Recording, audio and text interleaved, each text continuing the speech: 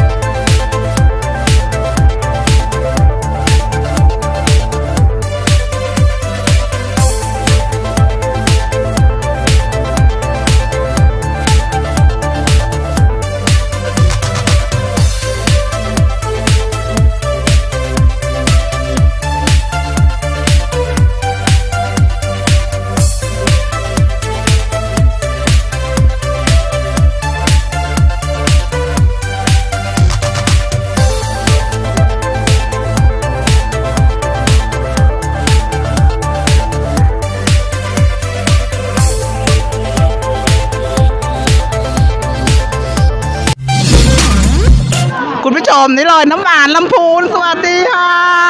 รางวัลนี้ท่านได้แต่ใดมา ก็เจ้าแม่จามาเทวีประทับองค์วันนั้นอ๋อก็เลยได้รางวัลเลย อ่าถ้าโพสต์ในตำนาน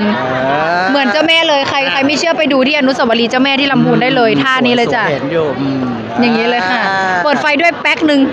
เป็นชุดโคม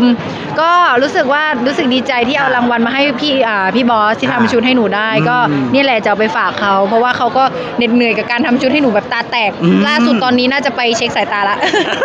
ปักทั้งตัวแม่ หนูใส่ชุดทีหนูหนักมากหนูยังงงเลยว่าเขาปักไปได้ยังไงอะเออชุดหนักมาก ได้เลยนะฮะค่ะ อะเก็บตัวเป็นยังไงบ้างบรรยากาศในกอง สนุก อืม สนุกแต่ถึงแม้เราจะง่วง ถึงแม้เราจะเหนื่อยแต่มันยังมีความสนุกปนอยู่เหมือนเราได้ได้เจอเพื่อนอารมณ์เหมือนไปโรงเรียนอะเออเหมือนไปโรงเรียนอยู่โรงเรียนประจำเดือนหนึ่งอะไรอย่างเงี้ย ตอนนี้ก็ปิดเทอมแล้วสำเร็จการศึกษาแล้วได้กลับบ้าน ก็นั่นแหละรู้สึกใจหายเมื่อเช้าก็กอดเพื่อนแบบว่าใจหายเนาะแต่จะได้กลับบ้านจะไม่ได้เจอกันแล้วก็ไม่รู้ว่าจะได้เจอกันอีกเมื่อไหร่ก็